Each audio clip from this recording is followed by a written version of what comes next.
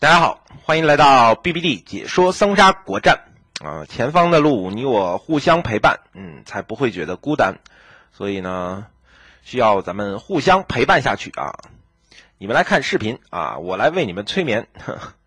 呃，今天呢，给大家放两盘这个我直播时候打的录像啊，给大家一盘讲讲这个排序，一盘讲讲思路啊。大家不是总说这个排序有问题啊，思路有问题啊？咱们给大家讲一讲啊，咱们共同看一看今天的录像啊。先看第一句。嗯，这里选将的话，这个应该会选师傅不在家组合或者是连环月啊。呃，我的推荐，我个人会选连环月啊，因为连环月的过牌能力其实比师傅不在家差不了多少。虽然他不能关心，但是他梅花可以继续转化牌。然后的话，连环月的生存能力更强大。嗯，这是我的意见啊。当然，你们喜欢别的，比如你们喜欢什么田丰、潘凤，对吧？这也没问题啊。对，我认识一个朋友，人家就什么都没有五阶，就潘凤五阶，怎么了？你有什么不服的？好，最终我选择了黄月英庞统。看本局比赛，三号位，嗯，杀杀桃九啊，这牌想换就换，不换就拉倒啊，反正对吧？这边出牌阶段有技能，如果没有何太后的话，那就是那什么啊，对吧？嗯，纪灵小胖，你拿个无懈啊，毕竟是黄月英嘛，而且无懈是一张万能的牌啊。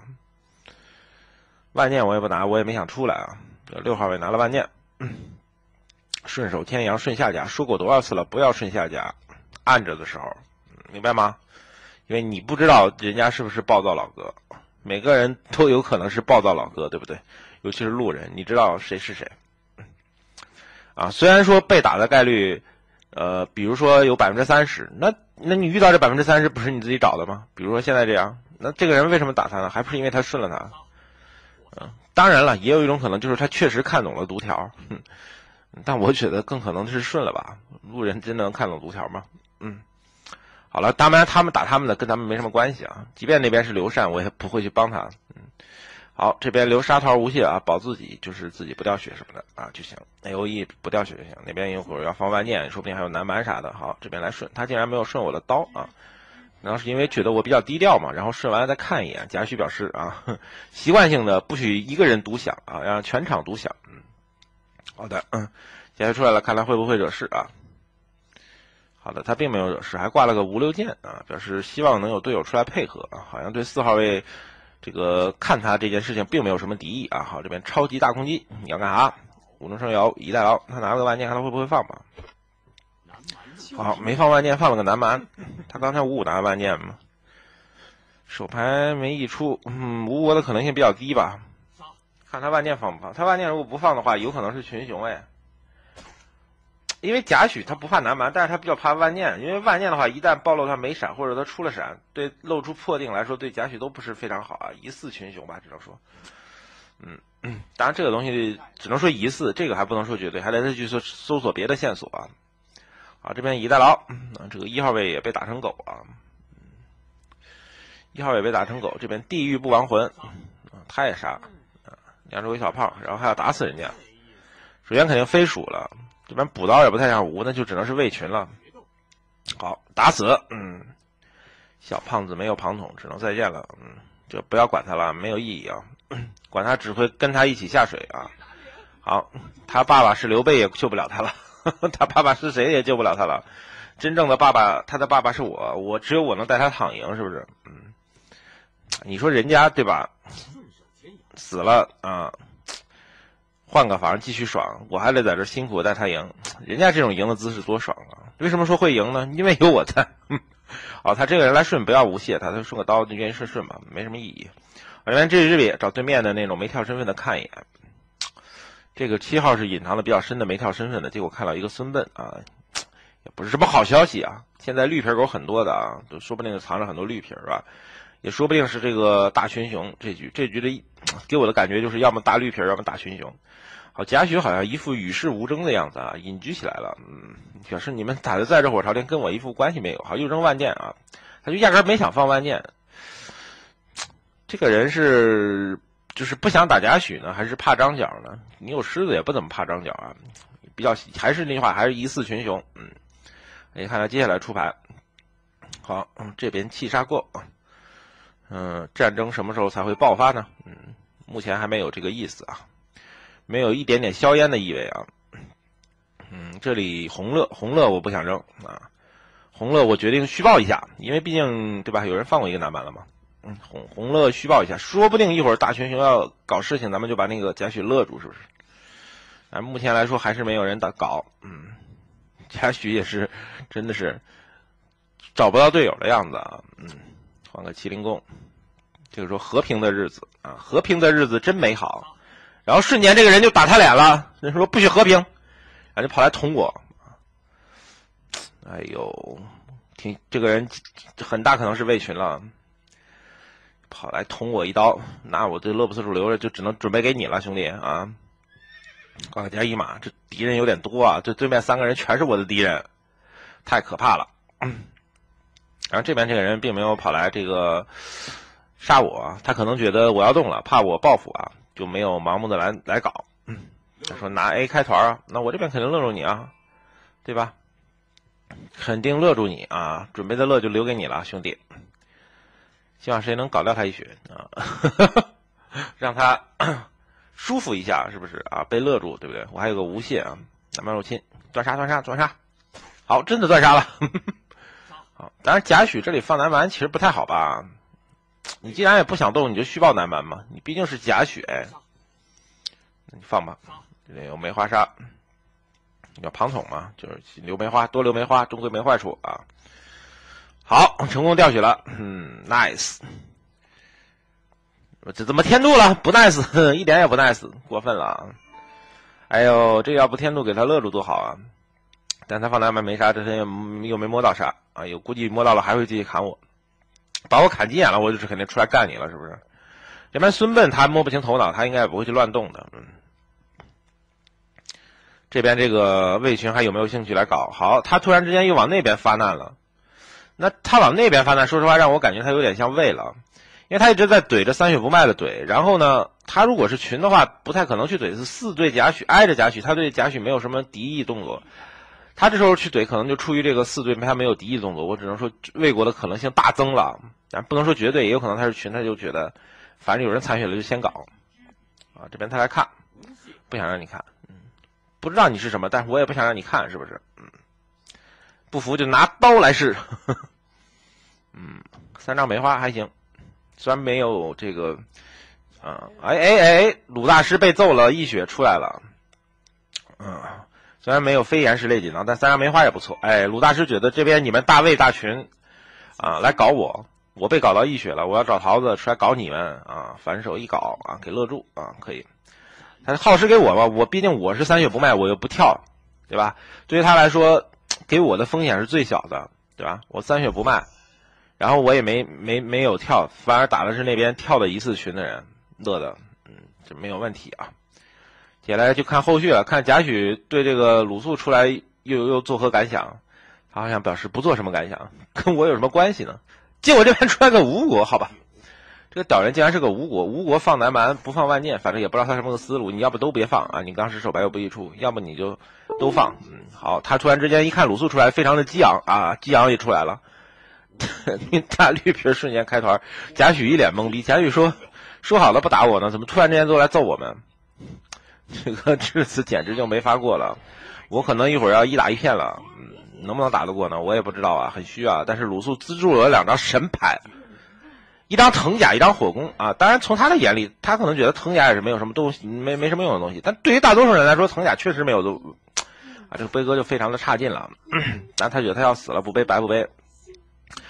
对于大多数人来说，藤甲确实是没有用的，也没什么错啊。对鲁肃，他就恰好我就是个庞统啊。好，这边乐住啊，乐前不乐后，而且鲁肃都耗尸给我了，他还怎么好意思给乐我呢？而且我还看过他，我也没打过他，对不对？辽神出来了，嗯，好。勒住二号，看看二号是什么？没想到吧？二号如果是无，那我就只能自己来了。二号如果，哎呦，这边结束阶段有技能啊，嗯，好像是有周泰是不是啊？二张啊，不是弃牌阶段有技能，弃牌阶段有技能，这吕蒙有可能是周泰啊，看起来这个样子。好，这边果然是出来一个绿皮的，那接下来我的任务就是要一灭四了，没没什么话说了，接下来就是考验你的排序的问题了。这里首先呢，藤甲连藤藤甲挂起来，火攻自己把他们连起来，这个是肯定要做的。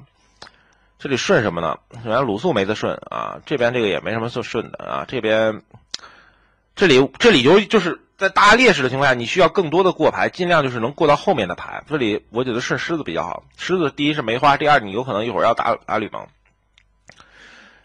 而且你顺了狮子怎么都不都是不亏的，他终归可以再换一张牌。你顺别人手牌吧，他们手牌虽然说是有桃，但是你也有可能顺不到桃，顺个闪啥的就没啥用了。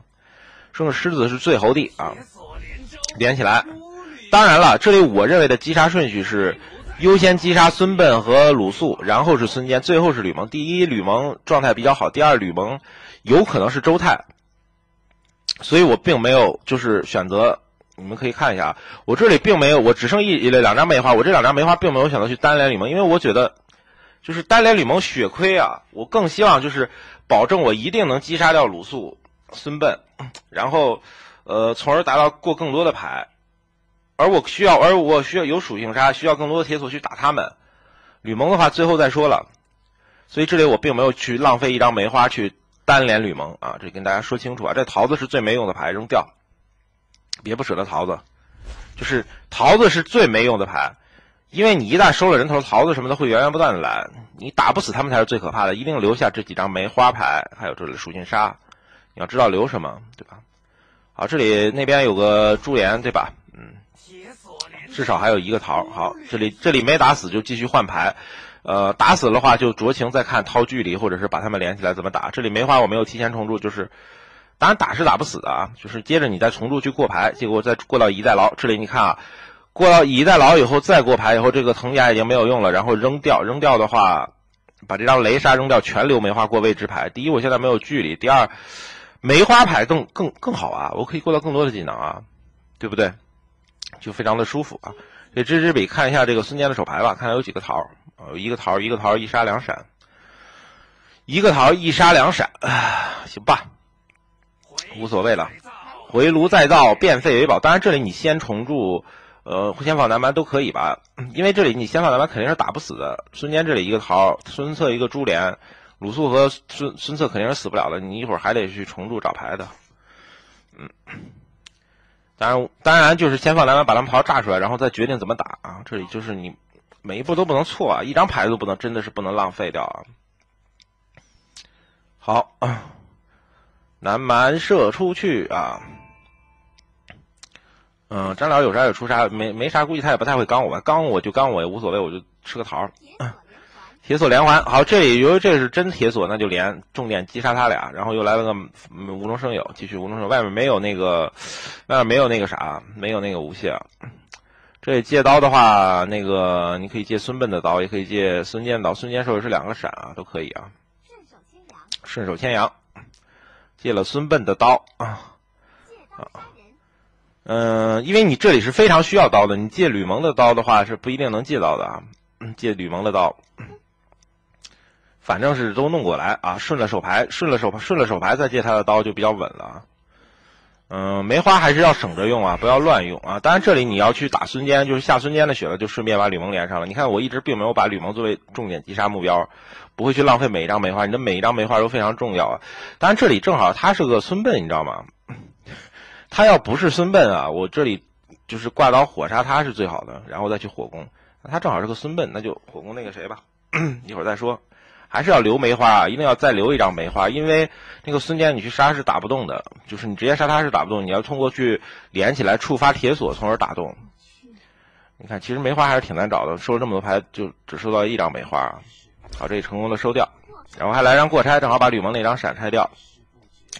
然后再连起来，用那张梅花把那个孙坚和那个吕蒙连起来，然后正好是张火杀，对吧？带走，带走孙坚，吕蒙是不是周泰不用管他，对吧？他就是最后，所以说就是你，你要是明白你的击杀目标，你看就是我每一张牌都没有浪费啊，任何一张牌都没有浪费。好了，这里马上进鏖战了，对于我来说，这个梅花我并没有选择重铸，我觉得把他俩连起来，然后冰柱，下回合一起打击杀了啊。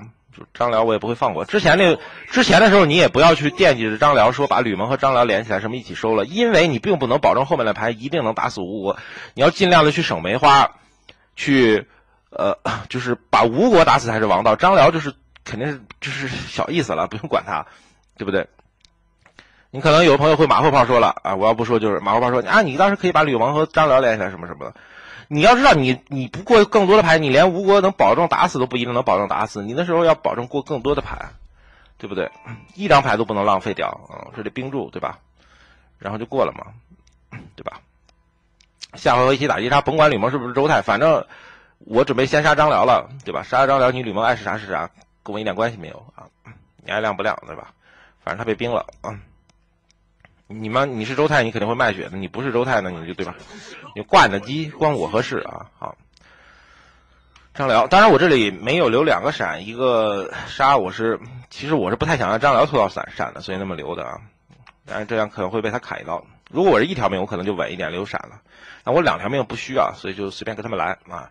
这里我并没有去顺吕蒙，而选择顺张辽，要去击杀张辽了啊，对吧？好，这个吕蒙也表示张辽死了，他不能打了，开始去保护张辽了。嗯，以彼之道还施彼身。好，这里之前连的铁索也是起到了作用啊。这边杀吕蒙，你看就是我用的每一张牌，你们经常说排序啊或者是什么思路啊，你就会看到这样是不是就非常完美啊？要不然你还杀不死这张辽，张辽有闪啊。这样带走跟那个吕蒙单挑嘛？单挑吕蒙的话，这不两条命嘛？基本上是没什么太大问题了。给他随便搞一搞啊，随便娱乐娱乐啊！但是好像爆发过以后开始基本了，正 常正常。基操物六啊，总能让你谁能总让让你那么爽呢？是不是？嗯，好，开始基本了。为了下一轮爆发，继续 续续爆，嗯，排队替你续爆啊！好，过河拆桥，开手牌重铸重铸再过拆，这里来了顺手了，所以我就拆了他的刀。顺了他的马，这样稳，稳的一逼。根据你手里来什么牌来决定了。如果没有顺手，我可能会去拆手牌干他了。然后他这直接死了。这局呢，就是希望大家能学到真的这个很多这个细节啊。你这出牌真的是啊，能在短短的十秒钟或者十五秒钟能够想到那么多出牌细节吗？对不对？你看老有朋友说这个观众朋友发录像不精彩，那你不就还是那句话，你去看我直播啊。好，咱们再看第二局啊。第二局是我打的啊。这局呢，给大家讲讲一个思路的问题啊。这里选将的话，好像我都不是很喜欢啊。那都不是很喜欢，那就只能这个陈五还是配四血，配二长就蛋疼了。你就华佗独菜吧。其实我很少选华佗的，但是没办法了，这个局江面被逼的只能选华佗了。这边哭什么呀？你们几个人哭什么呀？你们难道预感到了你们未来不幸的消息吗？一号位啊，可以刷刷防具啊。哎，有个狮子还不错啊。狮子对于蔡文姬来说是很不错的东西啊，我就要了啊！而且狮子前期其实挺容易降嘲讽的，虽然说挡不了什么伤害，但是别人一般看见狮子不太愿意打你了，你知道吗？好了，过了，这个张角嗯亮将了，行吧？良心好痛，太坏了，可能上上局发生过什么故事吧？谁知道呢？管他呢！好，他看我挂个狮子，他又拆了，他表示你方便我一会儿雷击啊！这屌人，我就想骂他。教主也这么明目张胆啊！这个说人家姓吕，这支笔，真骑马与砍杀，我真的是头大呀！这个队友，砍就砍吧，也不无双。嗯，好看一个魏给我打吧，用常规性打魏。好，又看了我一眼，我求求你，我只求求你别暴露我，行吧？你愿意干嘛干嘛，跟我没关系啊！求求你别暴露我，朋友，我害怕。嗯，然而徐楚表示我要重一点啊！司马懿说：“你下次重一点，我也要重一点。”好，三百回合，嗯，大战三百回合。哎呀，诸葛连弩减一，估计是没什么杀吧，或者是不想杀别人，我不知道。反反正打张角，好像是没什么杀的样子啊。好东西丢了，嗯，甄姬表示我想要连弩啊。哎呦，你想要连弩，那你那你有顺吗？你有借刀吗？嗯，好，大大笑三百回合啊。杀挺多啊，都大黑杀，要不然他估计就头铁顶着上了。别人他也没想杀。好，收下你的膝盖，收下俺的膝盖。你觉得要死人了？来吧。顺手牵羊。呀哈，邓艾啊，出来吧。击鼓于此嗯，大魏国开团了。哎呦，难受啊！这个六不像魏吧？三个魏开团了，他还在托管，对不对？这不是喜羊羊了是吧？那都出来了，哎，好像听见我说话了。甭管怎么样，先标着一会儿，他是魏，他就出来了，这无所谓。好，这当甄姬手短，打不到人，看似很凶，但打不到人。弱的一匹啊！好，这个邓艾是直接偷下家和张角，没什么问题啊。拆光光啊！国战不杀魏，不如洗洗睡啊！是吗？吕布也不开啊！你这堂堂的吕布就觉得不过他，真的是废柴！你不开，真的逗我，就知道筹备是吧？别的不知道。好，老黄忠出来了，铁锁连环啊！老黄忠可能要来一记狠的了，就这也一点也不狠，连猎弓都没触发，那弱爆了，嗯，啥玩意儿？南蛮入侵啊，那你把张角收了吧，我这里不要救张角，让他收了啊。哎，出来孔融了，那我更不会救了。第一呢，张角没什么用了，废柴一个，乱打。第二呢，这个孔融出来了，他有可能是袁绍，对不对？他万一是袁绍呢？给他个机会啊，这里不出来不救了。哎，他怎么给我？哦，我知道了，他，哦，那我明白了，那他肯定是袁绍了。他都不给张角打无懈，给我打，也就是说他是希望，就是保别的人，就甭管我是什么吧，他是更希望保别的别的人。第一呢，就是防一手我是曹丕吧，万一我是曹丕呢？第二呢，有可能就是觉得如果不是曹丕的话，就保一下，然后去设位去，要不然他应该是不保障角的。那这样就是明白了啊，让他收，让他收。我估计八成是袁绍了，他这个操作。要不然路人一般是会去救队友的，保队友的。他而且他亮了嘛，最主要的，啊，黄盖也亮了啊，请鞭笞我爸啊，鞭笞你爸干什么？野啥野？哪来的那么多？哪来的那么多魏国？好干魏，勒住啊！杀谁？杀邓艾。嗯杀邓艾可以，爽了。哎，如果他是袁绍的话，还真的有机会啊！再砍。再砍一刀啊！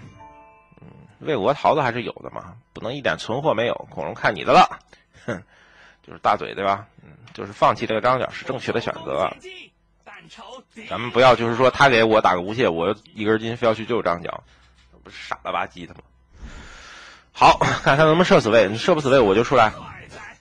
能射死固然最好啊，但是那边黄盖有个八卦阵也挺烦的，这边各种下次重一点啊。魏国看着牌少，但是都是好货啊！哎，死没死啊？没死，最后一个桃啊，撑住啊！不好意思，还有我呢。嗯，好，他还有功夫改田呢，快死了还改田呢，改吧。好了，你来了，那这里我肯定要先亮毒菜啊！不要先亮华佗，因为有孔融，你一会儿有可能摸到 A O E 啥的，要先先用，是不是？嗯，这个牌啥也没有啊，没有那就杀一刀了。木有就杀一刀司马，因为没桃了，不用先吃桃，求桃求到张辽了，杀一刀带走，然后再决定怎么打，看看后续的牌怎么打，也不用先去抄拆着急拆这个，你不要先着急去拆这个吴国和蜀国，就暴露自己狼子野心了。甄姬最后一张牌肯定不是桃。然后你看，这不是收到万念了吗？收到万念，你再放万念，孔融也不用掉血，对不对？多好，不用着急去拆。你即便现在拆了他的八卦阵，又能怎么样？还有就出个色，而且他还摸一张，你想拆一会儿再拆，都不是事儿。保证孔融别掉血才是王道。孔融不掉血，可比别的啥都重要。掉了血就很容易死，是不是？这不一发万念吗？啊，对不对？收掉，美滋滋啊！然后接下来这两个黄忠堂哥将、黄盖堂哥将，两个老黄老头儿还不是好对付的啊。嗯，你看不是也照样判黑吗？对不对啊？对不对？你看他有闪的。接下来咱们再去拆，对吧？他们也不知道有华佗啊，这边再去拆就 OK 了。换一张未知牌。嗯，这里的话桃园就不开了啊，因为我没有无懈。桃园开的话，其实对于我们来说不赚啊。我有华佗，就这样吧。这不是挺好的吗？我又出来个黄忠魏延，我的天哪，这些人的输出都太猛了吧！老哥们，我的天哪，瞬间吸满，我的天哪，炸裂！虽然死是死不了，但是很麻烦啊，非常的麻烦，他就吸满了，太可怕了，可怕的一逼啊！好，这里 gay 叔估计是要弄死我了，八成。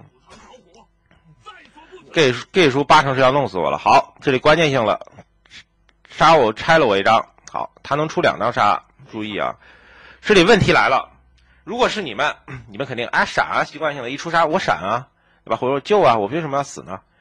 但是你要明白，他现在只出了一张杀，如果你闪了，你还得再挨一刀，你挨的这一刀是替谁挨的？你要知道，替黄忠挨的，因为我如果一旦死了，这不袁绍、孔融都没牌了，他他觉得最可怕的是个黄忠、魏延，他下一刀会砍黄忠、魏延，所以他既然要收，就让他收。